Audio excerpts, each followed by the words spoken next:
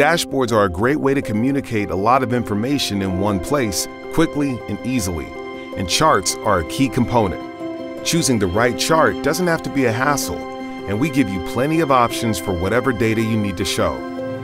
Lines are good for trends. Bars and columns are great to compare things. And pies and donuts, while delicious, are also perfect for showing proportions. So let's set one up. I've got this great sales dashboard, and I want to show you how my pipeline is performing. I can add a chart either from the Edit menu on the left or by clicking the Edit icon on the right, clicking the plus icon, and selecting a chart widget. Next, I'm going to find the data I want to chart from either a sheet or report and highlight it. Based on my selection, Smartsheet recommends the best chart, but I can still change it whenever I'd like. Feel free to experiment. Now I can customize by adding titles, formatting my text and colors. I can also save custom colors, and they'll carry over to the other widgets in my same dashboard.